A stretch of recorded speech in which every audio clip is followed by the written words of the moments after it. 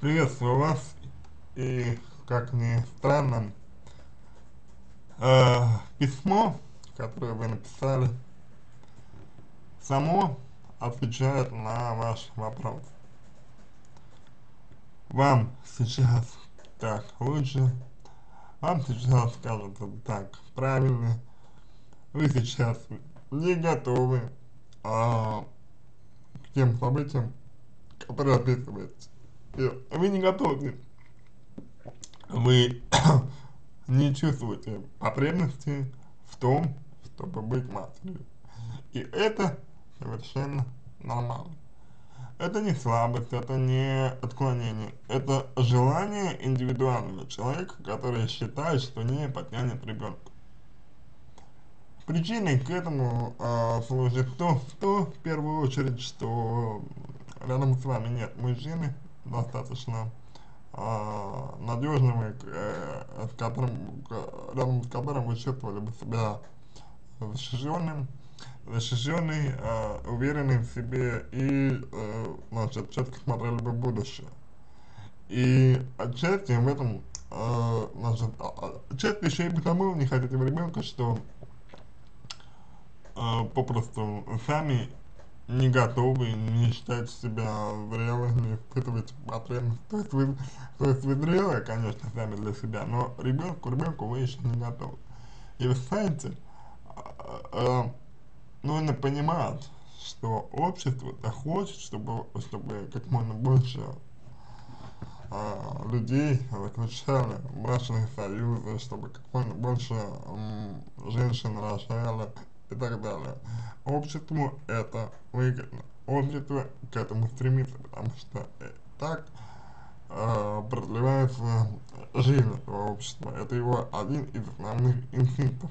Но поскольку вы являетесь человеком индивидуальным, поскольку ребенок, если он у вас появится, будет зависит, как вы правильно сказали, от вас, а не от общества, то если вы его не хотите, если вы не чувствуете а, потребности в этом, то значит вам и не нужно рожать, потому что ребенок не будет желанным, ребенок не будет любимым, а значит у него будут одни проблемы. Вы будете винить его в своих проблемах и не будете его достаточно сильно любить. Ну а он, чувствуя ваши отношения, будет винить в себя, и его жизнь не принесет ему э, удовольствие, потому что он будет чувствовать, что его не любили. То есть для маленького человека очень важно, чтобы с момента появления его на свет, э, его уже окружили любовью, лаской, заботой теплом, чтобы он был желанным. А если этого нет, то маленького человека появляются и комплексы, и сомнения, и страхи, и неуверенность в себе и прочее.